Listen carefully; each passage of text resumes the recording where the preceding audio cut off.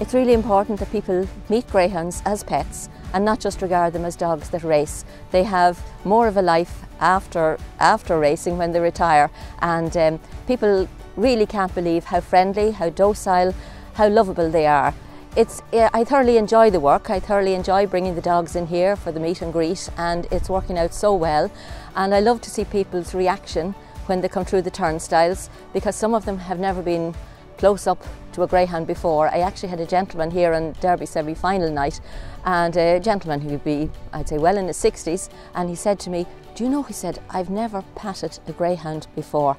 I always thought these were these dogs who had to wear muzzles and I said, there, that's the image that's given out when they're racing. Well, Ted is my superstar.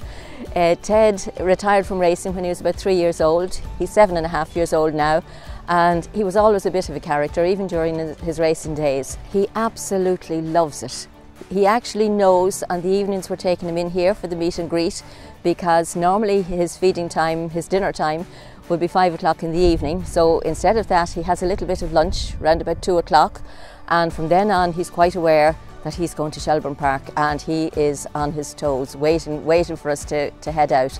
It's absolutely amazing. I remember a Dutch couple here about two weeks ago and they came up about five or six times up to see the three dogs and they actually made inquiries about how they could rehome one in, in Holland and um, we put them in touch with the Irish Retired Greyhound Trust and uh, hopefully something will come of that.